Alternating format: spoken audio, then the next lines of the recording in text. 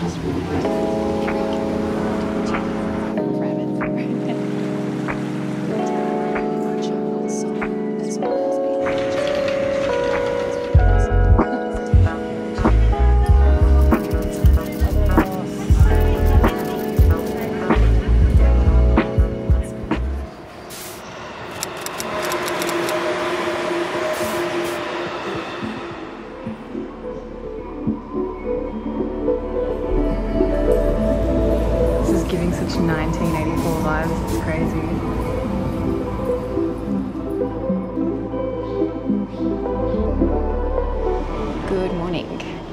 just arrived in an area of Kyoto called Uji.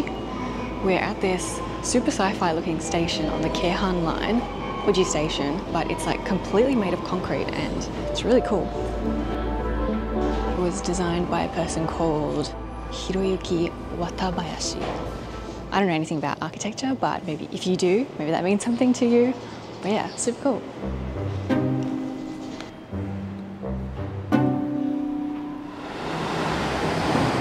So is probably best known for its matcha. If you've ever had anything matcha flavored or any kind of matcha, chances are it's probably come from Uji. It's considered probably the tastiest matcha in Japan, so potentially the world as well. I guess today I really wanted to come because I'm trying to reduce my caffeine intake. So I'm trying to cut down coffees to like one a day. And then instead of that, I want to use more matcha as an alternative. So I'm coming here today, I'm hoping to get some tasty Uji matcha and the whiskey thing that you use to like mix it, stir it. So yeah, and I'm also excited because apparently there's a lot of different matcha flavored things like bread and gyoza and ramen. So I'm excited to check out some of those as well.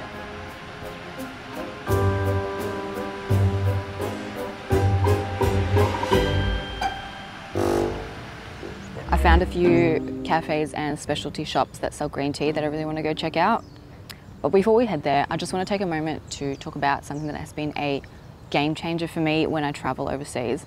And it lets me use my phone whenever and whenever, just like now. For the past three times that I've come to Japan, I have been able to stay seamlessly connected as soon as I step on the plane, thanks to this amazing invention called an eSIM. If you're not familiar, an eSIM is basically a digital SIM card.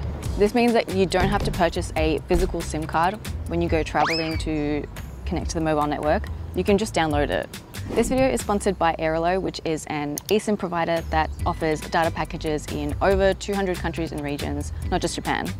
It's super simple to activate. Um, I do recommend doing this part in your home country before you leave, just because you need an internet connection to be able to like install it. And then this way, you're pretty much good to go as soon as you get off the plane. Also, just something to note, not all phones are going to be compatible with an eSIM, so just check before you purchase it. So you just start by installing the Airalo app and selecting the SIM card for your destination. My phone has an Australian SIM card in it, so I would select Japan while I'm traveling here so that I can stay connected.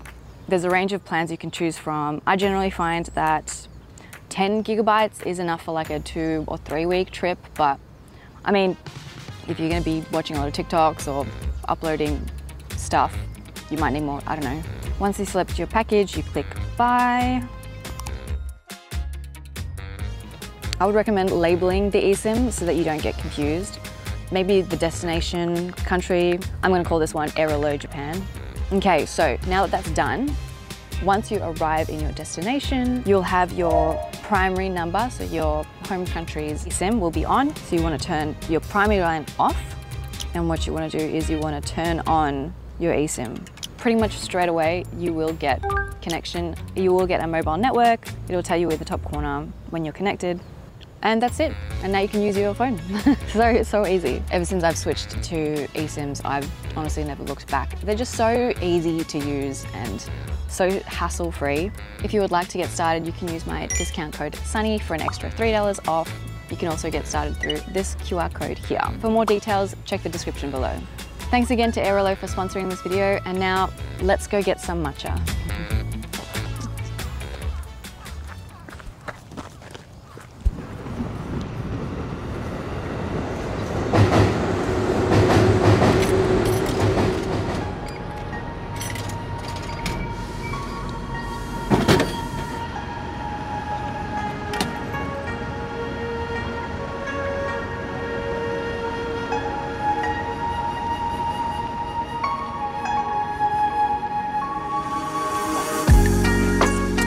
Are at Byodoin Temple in Uji. It was made like over a thousand years ago and it's never been destroyed by a natural disaster, which in Japan is pretty impressive. it's also the temple that you'll find on the back of the 10 yen coin, which is pretty random but cool. It costs 700 yen if you want to enter the temple grounds and walk around it, but if you want to go into the building itself, it's an extra 300 yen. yeah.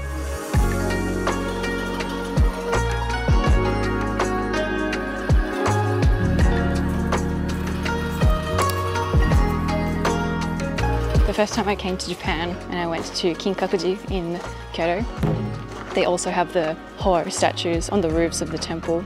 And I remember thinking, oh, that's so cool that they put a Pokemon on the roof of the temple. I didn't know which one came first. This place is called Nakamura Tokichi. It's pretty well known. The main branch is just near the JR Uji station. But we were walking past this one and it just looks really good from the outside, so we've come to check it out.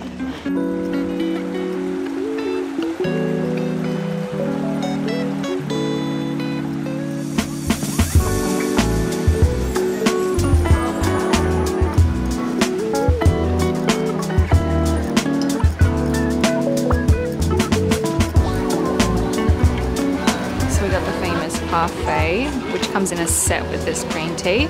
And then this is a matcha jelly, I think. Mm.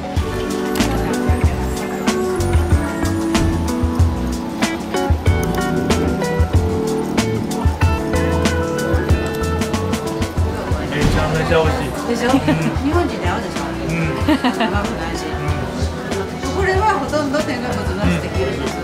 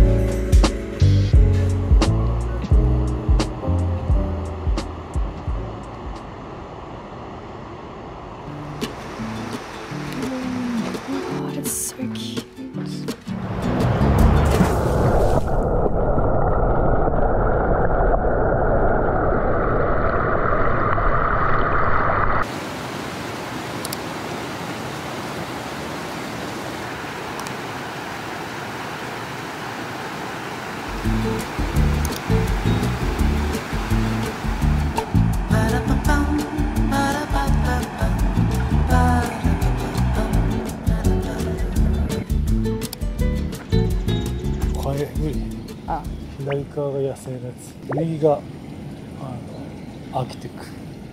Arctic. 人工で。So they, シシベリアに住んでんねんて。mm, so they're not from Japan？あ秋秋から冬にかけて日本に来るんだって。Oh. 日本では1000年以上前から来てるんでこれ So they use so they use these these to catch during autumn and winter, and these during summer and spring. ええ一緒一緒 So they're just two different species. これだから同じ種類だけ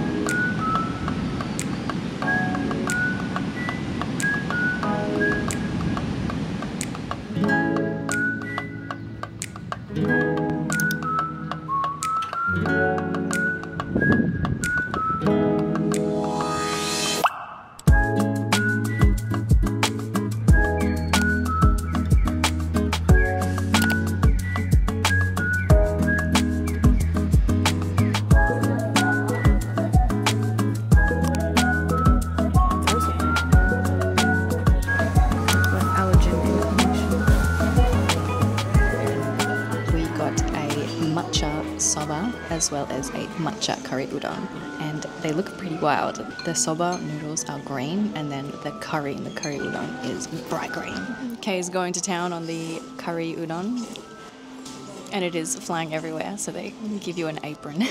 and then you also get these like tea leaves. They're like dried. No, they're not dried. They're wet tea leaves. They've got some kind of flavoring, but that's that's cool. Yeah, the matcha noodles don't really taste that much like matcha. It's a very like mild flavor, and the curry also doesn't taste that much like matcha, but it's a really tasty curry. I'm really enjoyed that curry udon, and it's just a very nice view, isn't it? What a beautiful place to have lunch.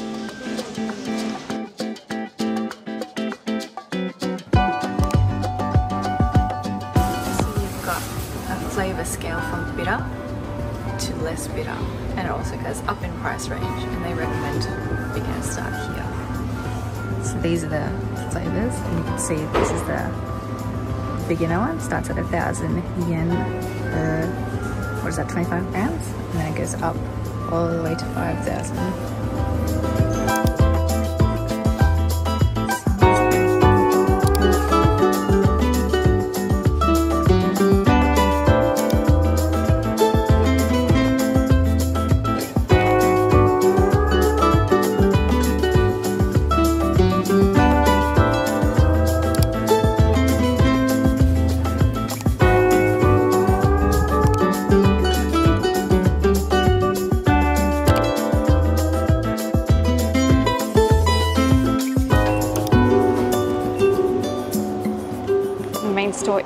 one to one and a half hour wait for a cafe, so we made the right call in the end.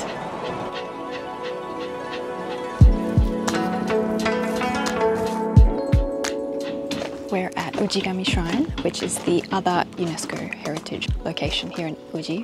Byodoin is a temple and this one is a Shinto shrine. And I think it might be the oldest shrine in Japan, potentially. But what's really cute about it is it's got rabbits everywhere which is super cute. It's a short walk from Byodoin Omotesando and the main Uji Bridge. So definitely come check it out. It's it's free and it's just a really cute little walk around that's not too busy. Come check out the rabbits.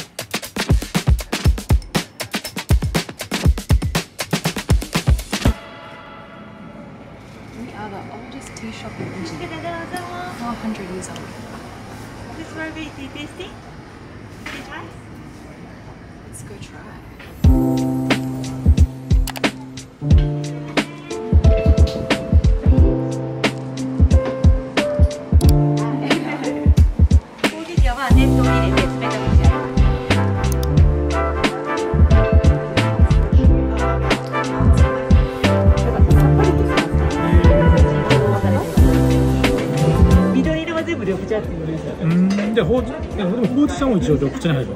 緑これはね緑茶には入らないです。もともとは緑茶は緑茶なんですけど報じるのでこれは除外になってしまいます。ほうじるってなんですか？いいるんです。い、ね、熱をこう、はいそうですそうです。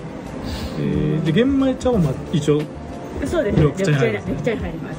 えー、煎茶がなよくよく分かんなくて。はい。煎茶とね緑茶はまあ一緒なんですけど緑茶のうちの玉露煎茶いうって感じ。えー、なります。で玉露は何で何？玉露と煎茶？はね、はい。玉露と煎茶は育て方が違います。はいはい。で玉露はあの茶畑にお湯をかぶせて育ててるお茶。おい？うん。あのあそこのポストありますよね。あこれそれが玉露なんです。それは日光に当てずに育てるのでおー。うまみと甘みだけのお茶になるのでおー。温度低めに入れますでお煎茶はこちらの畑になるのでお日光当てて育てるので甘み渋み苦みってついてる。んあですすごい渋みが出る。んですかそうです。そうですあこれこれは渋渋みが出ない。出ないんです。だからお風呂の温度40度でじっくり入れていただくお茶になります玉露がは。い。でかぶせ茶っていうのは玉露と育て方は一緒なんですけど木に直接黒いオイルをかぶせるんです木に直接。はい、こういうね茶畑のこの木に直接黒いオイルをかぶせるんです。あで簡易的に育てるのであのお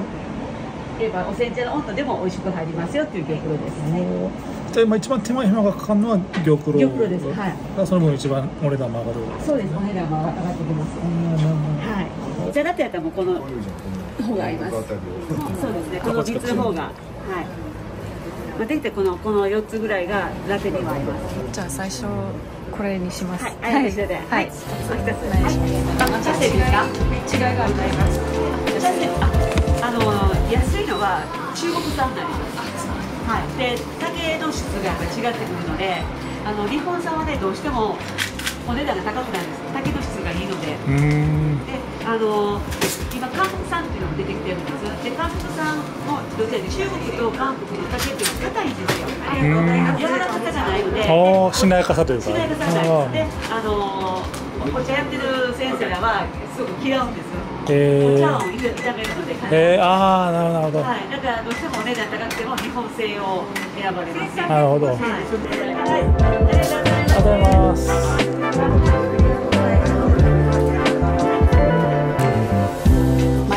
Uji matcha from the oldest tea shop in Uji. I'm super excited to try this. The lady was super helpful. She knew so much. I only understood like half of it, but it was super helpful.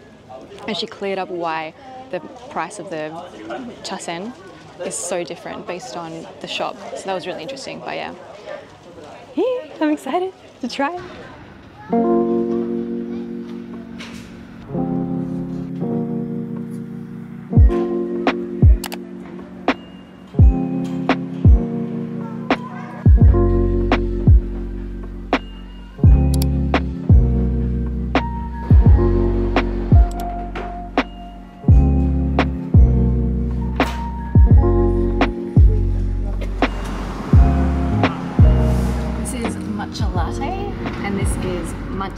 Not latte.